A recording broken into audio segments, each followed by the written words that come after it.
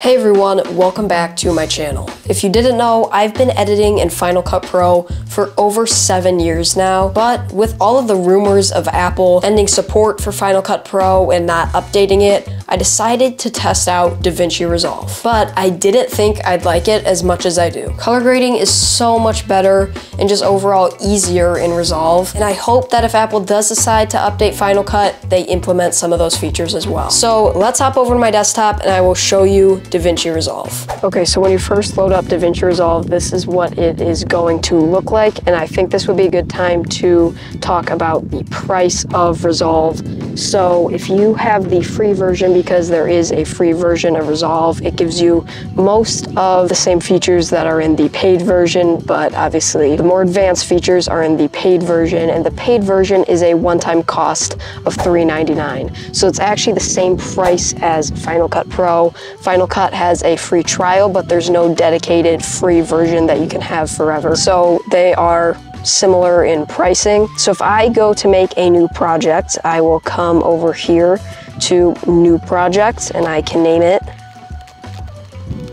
And then this is what it will look like. And this editing window is actually very similar to Final Cut. So if I go to the edit page, you can see up here you have all of your video, uh, audio transitions, titles, generators, and effects. Down here is your actual timeline. Here is the player. So when you actually play your video, this is where you're gonna see it. And then over here is your inspector. So this layout is actually very similar to Final Cut. And then down here you have your different pages like the cut, edit, fusion, color, fairlight, and then deliver. So those are all down there and they all do different things. So first things first, let's import some media. So I'm gonna go up to File, Import, Media, and then I can select whatever I want to import. So I will import these two clips and click on Open.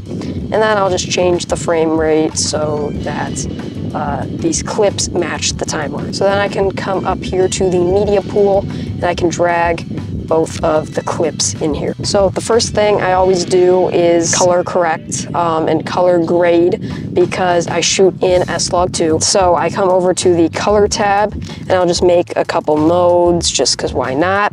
And then I drag the color space transform onto one of the nodes. And here I can put in all of my settings. So um, I will put Sony S Gamut and then S-Log2 and then these two um, down here, the output color space and the output gamma will be Rec 709. And then I can come over here and adjust these further. So I can adjust the lift gamma gain settings just to get this to a place that is gradable.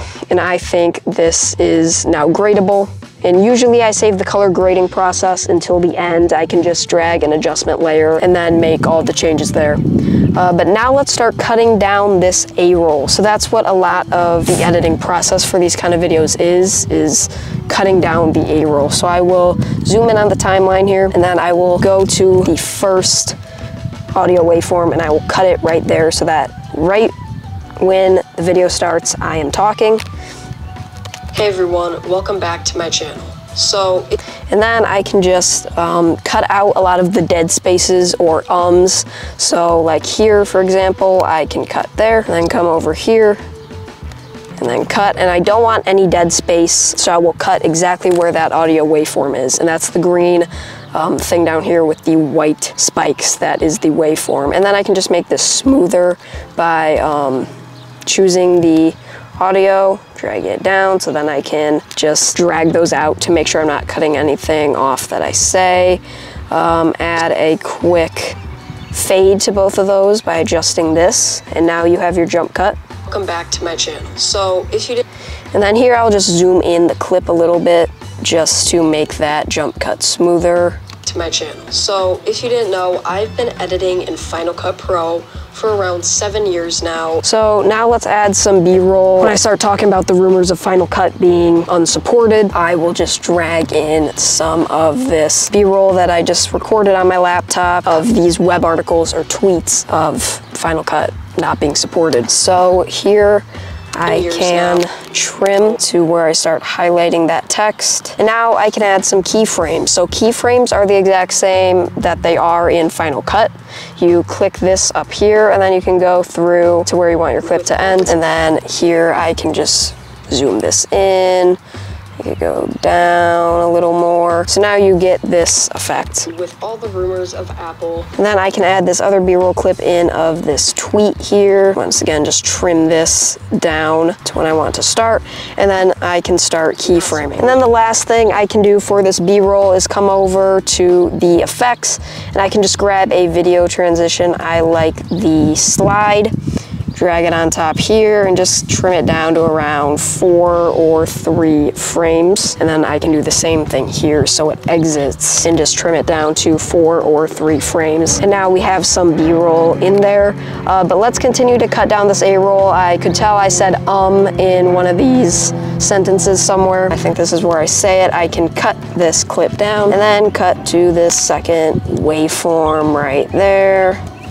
Um, and I like to just cut and then drag it. I know that's not efficient and a lot of people use the ripple cut or whatever it's called. I still need to get used to Resolve and cutting down the A-roll. So right now I just drag it, but once I get used to it, start figuring out that ripple cut, whatever it's called a little more, then I can be more efficient. And I'm definitely much more efficient right now in Final Cut because like I said, I've been using it for so many years. I'm just used to it and I've gotten a pretty good workflow down. But but if I use Resolve and keep testing it out and getting better at it, then I will be able to be efficient in Resolve as well. I dropped my phone in the parking lot and I'm making sure it didn't break. It was sitting on my lap and I forgot it was in my lap and I dropped it right on the concrete. But I think all that happened was the case got a little scuffed up. All right, so now that we've been cutting down this A-roll, if you wanna make your jump cut smoother, you can do a J or L cut. And in Resolve, this is a little bit different than how you do it in Final Cut.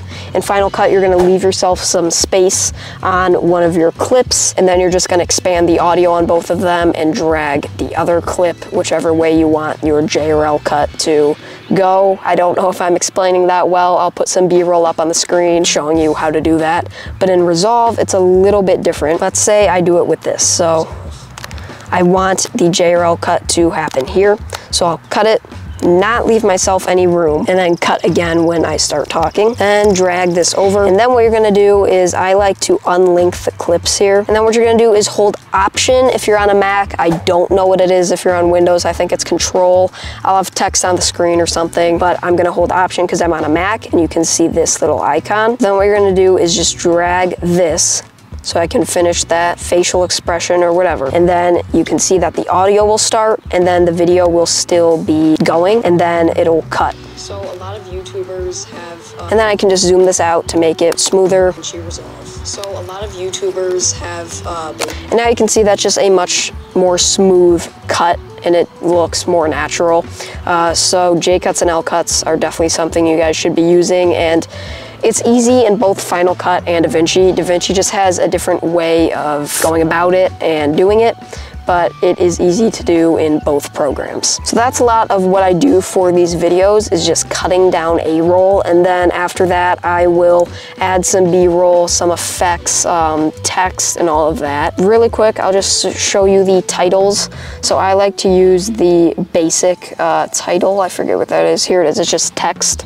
So you can drag it over and then click on it and you have all of your effects right over here in the inspector on the right. So I can make this whatever I want and then you can change the font. So I usually like to go Futura PT. That's not Futura PT. I like to go Futura PT and I'll put it on bold or heavy. And then you can uh, change the tracking and all of those kind of settings here. And then the line spacing, so I'll just make these closer together. You can change the color and then the font style, um, all of your settings right here. So then I will add a drop shadow because I like to add drop shadows um, and you can play with the offset and the blur, opacity, color, all that. You can add strokes So I could add a like stroke. Um, I usually don't. I just think a drop shadow is good enough. Uh, but you can add a stroke, all of that, a background if you want to. And then once you're done and uh, you have your text how you want it, you can add a transition or something, um, like a slide have uh, been switching to, and then the text will just slide in. Um, so all the transitions also work on text. And that's basically it. That's what I do in Resolve. A lot of it's cutting down the A-roll, adding B-roll and text. And then if I want to shoot vertical videos and edit that, I can just make a new timeline, click off use project settings, go to format, and then click use vertical resolution, then click create, and it brings up a vertical timeline that I can edit TikToks, Reels, and Shorts in. Thank you guys for watching this video. If you want to see more content like this, please let me know in the comments below. Leave a like if you liked it, and I will see you guys in my next video.